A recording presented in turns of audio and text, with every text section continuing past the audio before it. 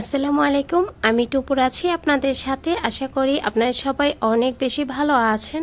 সবার প্রতি শ্রদ্ধা এবং ভালোবাসা জানিয়ে আমার আজকের ভিডিও শুরু করতেছি। আশা রাখি ভালো লাগবে।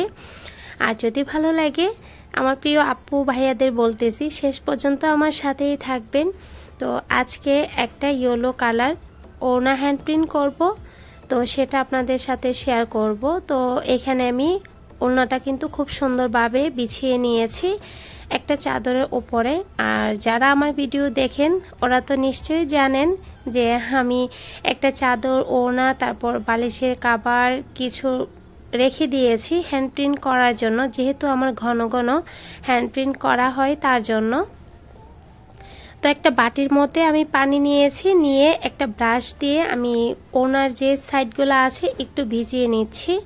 আর খুব সহজেই যারা হ্যান্ড প্রিন্ট করতে চান আর যেসব আপুরা আমার কাছে হ্যান্ড প্রিন্ট চান, তারা কিন্তু খুব সহজেই এই হ্যান্ড প্রিন্টটা করে নিতে পারেন। আর এটা কিন্তু যে কোনো ড্রেসের সাথে এই হ্যান্ড প্রিন্টের ওড়নাটা যাবে। আর গায়ে হলুদের জন্য কিন্তু একদম পারফেক্ট একটা ওড়না। তো এখন আমি হালকাভাবে ভিজিয়ে নিচ্ছি। একদম যে ভিজিয়ে একদম নিংড়ে পানি নেওয়া যাবে সেরকম না। তো আমি সাইডগুলা ভিজিয়ে নিয়েছি। যেসব আপু ভাইয়েরা এখনও আমার ভিডিওর মধ্যে লাইক দেন নাই প্লিজ একটা লাইক দিয়ে দিবেন। তো এখন আমি একটা প্লেটের মধ্যে হোয়াইট কালার, রেড কালার আর গ্রিন কালার নিব। আর এখানে আমি একটা মোটা ব্রাশ নিয়েছি। তো এখন দেখে বুঝতে পারতেছেন। আমি অল্প অল্প করে কালার নিচ্ছি আর যেই সাইডে আমি পানি দিয়েছি, এই সাইডে কিন্তু লাগিয়ে নিচ্ছি। অল্প অল্প করে ব্রাশ করে নিচ্ছি, এতে করে কিন্তু পাটটা খুব সুন্দর হয়ে যাবে। যেসব আপু ভাইয়েরা এখনও আমার চ্যানেলটা সাবস্ক্রাইব করে নেই, প্লিজ আমার চ্যানেলটা সাবস্ক্রাইব করে দিবেন। আর শেষ পর্যন্ত আমার ভিডিওটা দেখবেন। খুব ছোট্ট একটা ভিডিও, আশা করি শেষ পর্যন্ত দেখবেন। তো তিনটা কালার মিলিয়ে কিন্তু আমি অল্প অল্প করে নিয়ে ব্রাশ করে দিচ্ছি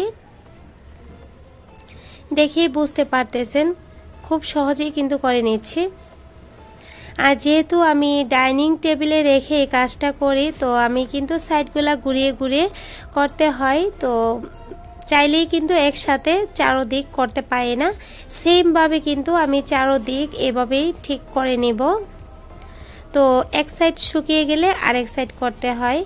তো এখানে যে সাইডে আমি পারগোলা দিয়েছি, এই সাইডে কিন্তু সবুজ কালার দিয়ে, ছয় নাম্বার একটা তুলি দিয়ে আমি ছোট্ট করে একটু গাছের মতো এঁকে নিয়েছি। প্রথমে একটা ডাল দিয়েছি, তারপর দুই সাইডে দুইটা পাতা দিচ্ছি বা একটা পাতা দিলেও চলে। তো আমি মাঝে মাঝে একটা পাতাও দিয়েছি, দুইটা পাতাও দিয়েছি। এভাবেই কিন্তু পুরোটা সাইডেই করেছি। এখন আমি রেড কালার নিয়েছি সেম ব্রাশটা দিয়েই রেড কালার নিয়ে তারপর আমি হালকা করে একটু একটু চেপে দিয়েছি, এতে করে কিন্তু খুব সুন্দর একটা ফুলের ডিজাইন চলে আসতেছে। আর আপনারা চাইলে অন্য কালার দিয়ে করতে পারেন, তো এই ইয়েলো কালারের সাথে এই কালারগুলাই কিন্তু খুব সুন্দর যায়, মানায়। আর গায়ে হলুদের জন্য এই হ্যান্ড প্রিন্টটা কিন্তু খুব সুন্দর মানাবে বা খুব সুন্দর হবে। তো এখন ওনার যে জমিনের সাইডটা আছে, এটার মধ্যে যে কাজটা করব, এই তো দেখতে পারতেছেন কীভাবে আমি দিয়ে নিচ্ছি একই তুলি দিয়ে কিন্তু এই কাজটা করতেছি। অনেক আপুরা আছে আমাকে জিজ্ঞেস করে যে, কোন তুলিটা বা কত নাম্বার তুলি আমি ব্যবহার করেছি, তার জন্যই কিন্তু আমি নাম্বারগুলো বলে দিচ্ছি। তো পুরোটা ওনের সাইড কিন্তু আমি এভাবেই করব আর জমিনটা আমি এভাবেই করব। তো এই তো আমি কিন্তু পুরোটা সাইড করি নাই। তো যতটুকু করেছি সেটা দেখাচ্ছি আপনাদেরকে। তো এভাবে কিন্তু আমি চারোটা সাইডই করে নিব। এই যে মাত্র কিন্তু আমার ওনাটা করা শেষ হয়েছে। এক সাইড করা শেষ হলে শুকিয়ে যাওয়ার পর তারপর আমি অন্য সাইড করেছি। এভাবে কিন্তু চারোটা সাইডেই আমি করে নিয়েছি। এইখানে কালারটা ভালো আসতেছে না। তো শুকানোর পর দেখাচ্ছি এই যে ওনার কালারটা এরকম।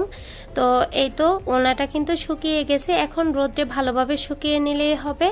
আর তা না হলে ইস্ত্রি করে নিলেই হবে উল্টো পিঠ দিয়ে। অনেকে জিজ্ঞেস করেন, তার জন্য আমি এগুলা বলে দিচ্ছি আর কি।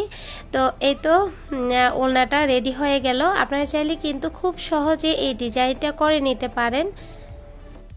আর এই ওড়নাটার সাথে চাইলে লাল জামা বানাতে পারেন বা ব্ল্যাক কালারও কিন্তু মানাবে বা সবুজ কালারও কিন্তু মানাবে। তো বা এই সেম ওনার কালার মিলিয়ে ইয়েলো কালার জামাও মানাবে। তো আজকের মতো এখানেই বিদায় নিচ্ছি। আল্লাহ হাফিজ।